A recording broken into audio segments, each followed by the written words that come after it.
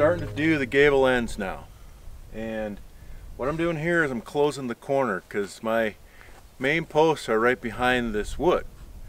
And so I could have wrapped Tyvek around them and I actually thought about doing that, but tell you the honest truth, I forgot. So what I'm doing now is I'm closing the corner and this will be fine. So you can see I have this filler piece and then the starter piece is overlapping this joint. And when I put on the trim pieces, the trim pieces, this piece is going to come to the end and this piece will butt up to it. And that's closing the corner. Um, it's actually pretty watertight. So this is how we're starting off and now we're going to go down the line.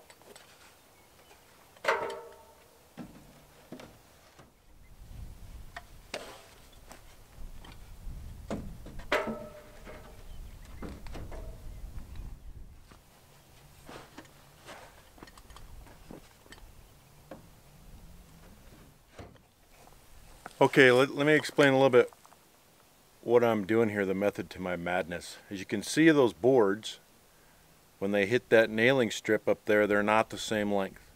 They're offset by one inch.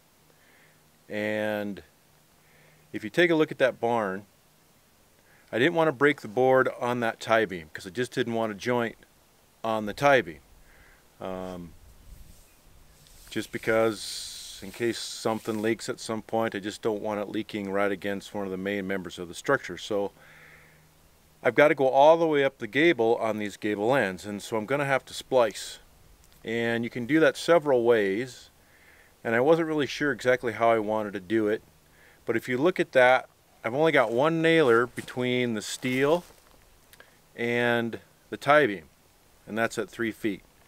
I could have put two in there but I didn't. I only put one. And the reason I did that is because I'm going to put my wood stove on that wall, the chimney is going to come out that wall, and so is the venting for the forge. And so I kind of know how I'm going to do that, and I put that nailing strip where I did for those reasons.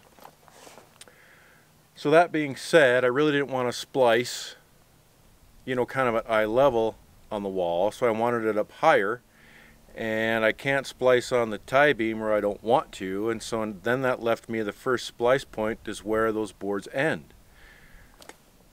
Well that's really not conducive to staggering your splices because I'm out of options. My boards are only 8 feet long.